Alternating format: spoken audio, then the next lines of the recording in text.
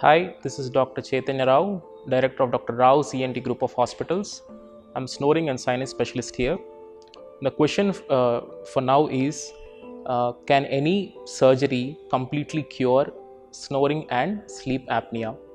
When a patient comes to us with snoring or sleep apnea, we advise an investigation called sleep study, where a sleep physician comes to your home and fits a small device to your body. Once the investigation is finished, finished in the morning, we get a report regarding how was your sleep quality, the number of times you woke up from the sleep, the kind of your uh, sleep, the patterns of sleep, the REM sleep, the non-REM sleep. And once these reports come, uh, we assess and we uh, categorize the patient into mild, moderate, and severe.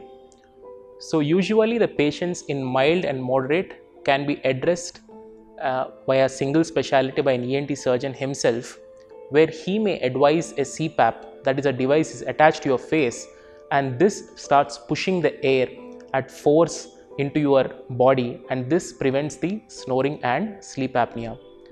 And the second option would be to uh, understand where is the obstruction in your airway and address these surgically. Coming to the severe patients, sometimes a bariatrician, that is a bariatric surgeon, may need to come into picture to re- help the patient reduce the weight and reduce the BMI so that uh, the CPAP or the surgical um, method helps in the cure of the patient. So, for mild and moderate patients, usually the recovery and also uh, the treatment of uh, sleep apnea is much more successful when compared to patients with severe and very severe sleep apneas. Thank you.